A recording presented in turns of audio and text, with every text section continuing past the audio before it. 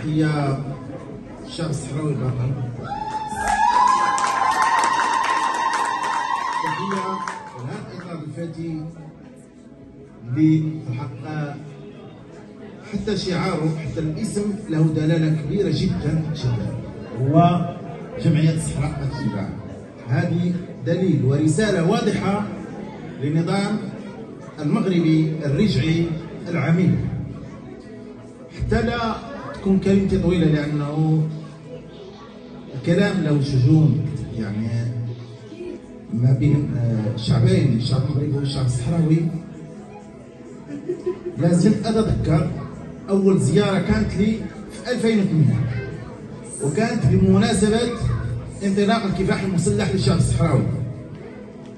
واليوم أتواجد بينكم الاحتفال محطة كبرى وهدف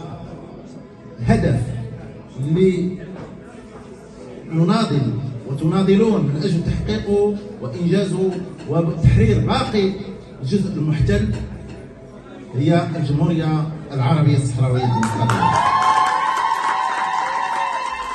وهذا شرف لي أن أكون بين ظهرانكم اليوم. ولا أطيق الشعب المغربي وقواه الحي اليساري الراديكالي المغربي. منذ التفكير في تأسيس جبهة بوليزاريو كان نقاش وكانت علاقة رفاقية ونضالية ما بين مناضلي اليسار الماركس المغربي الثوري مع مناضلين اللي أسسوا جمهورية اللي أسسوا جبهة بوليزاريو. وهذا شرف لنا. وشرف لكم أيضا بمعنى أنه لا فرق ما بين الشعب المغربي والشعب الصحراوي. نناضل ضد نفس العدو. نناضل ضد نفس العدو وهو النظام المغربي الذي تواطأ مع المحتل الإسباني وتواطأ مع الإمبريالية وتواطأ مع الأنظمة الرجعية التي دعمته من أجل أن يفك حصاره وتقوية أركانه وهو بالتوسع على حساب شعب آخر وهو الشعب الصحراوي. ويجب أن لا ننسى المؤامرة الإسبانية التي حاولت أن تغطي على جريمتها بتسليم شعب وأرض لنظام غاصب ولنظام يعني حتى مشروعيته الآن والآن أصبحت قاب قوسين أو أدنى وأذكركم هنا أنه مباشرة بعد اعتلاء الملك الغائب المسؤول الغائب أو الرئيس الغائب هو محمد السادس أن صدر كتاب هل يكون محمد السادس آخر ملك بالمغرب وهذه رسالة يعني الإمبريالية والغرب الذي يدعم هذا النظام يعرف أنه فعلا أنه هذا النظام أفقه ووجوده لم يتبقى إليه بالنسبة لنا الزمن مش يعني وقت قريب جدا.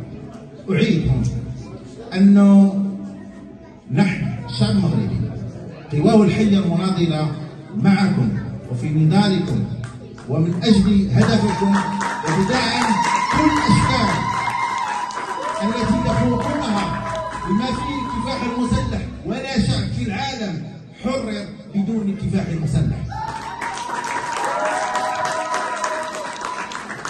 ولا شعب في العالم يعني يجب أن نقرأ التاريخ أنه الكفاح المسلح لأنه هذا حق مشروع تنصه كل القوانين والنواميس الدولية وتعرفه أنه لا حل بدون كفاح مسلح وليس بأشكال أخرى. ممكن تكون كمساند ولكن وتعرفه أنه لا حل بدون كفاح مسلح وليس بأشكال أخرى. ممكن تكون كمساند ولكن الكفاح المسلح ستلحقون بالنظام المغربي لأنه هذه حرب يقيمها ليس باسم الشعب بل باسم النظام المغربي.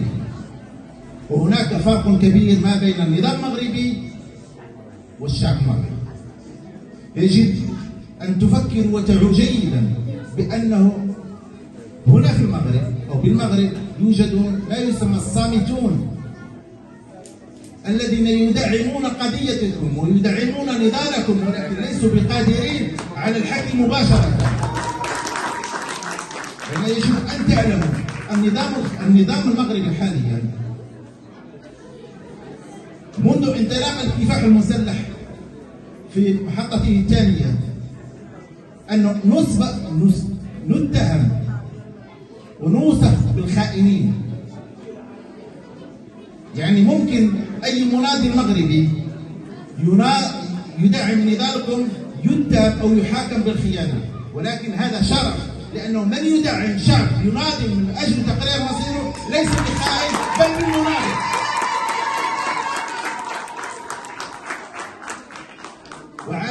النظام للكيان الصهيوني. هي عمالة للنظام وليس للشعب المغربي كل الشعوب تعي وتعرف بأن الشعب المغربي هو الشعب الذي يناضل ويدعم ويساند كل الشعوب التواقة إلى التحرر وإلى الحرية. بالفعل حاليا هناك قمع أعمى يمارس ضد المناضلين المغاربة. يحاكمون بمحاكمات سورية. يحاكمون ويطاردون بل يجب أن تعلموا هناك العديد من المناضلين المتواجدين بالمهجر. ليسوا بقادرين على العودة إلى البلد لأنه يعرفون جدا بأنه سيعتقلون في بوابة المطار. ولهذا أنه هذا لا يرهبنا. اليوم الذي يدعون الرفاق والمناضلين والشعب المغربي إلى النزول لإطاحة بالنظام العميل سننزل.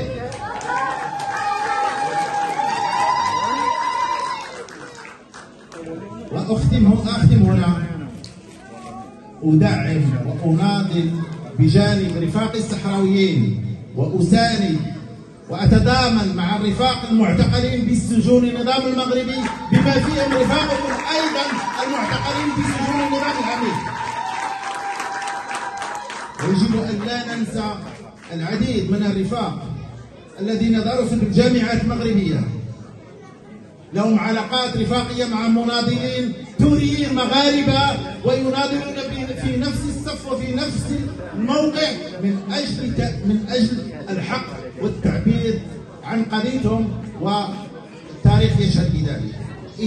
وأخيرا رفاقي وأخواتي وأصدقائي وأحبتي سنلتقي يوما وسنحتفل بالاستقلال جميعا. لن تهيبوا لن لن, لن تخافوا. لا يهم من باع بل كل الشعوب من تناضل طبيعي هناك مثل عجلة سيارة هناك إطارات تروح وتغير. يعني هات هات يعني لا يخيفنا هذا لا يخيفكم هذا. بل من يخيفكم هو أن المناضل الأوفياء يجب أن يبقوا قابضين على الجمر كيفما كان الحال.